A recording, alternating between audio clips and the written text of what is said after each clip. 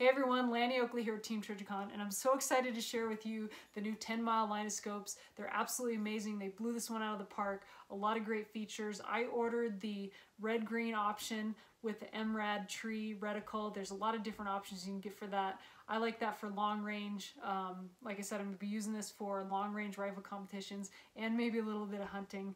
Uh, it has the uh, awesome new magnification lever uh, with two different adjustment areas. Uh, so if you wanted to use it for a bolt action rifle, you can, and a semi-auto, so you can use it for both.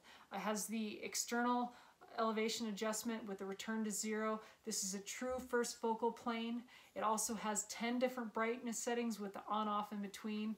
This thing is drop tested, it's torture tested, it's waterproof up to 10 feet, so if you fall in the river, you're good to go. So check out the Tenmile and all the other great scopes at trijicon.com.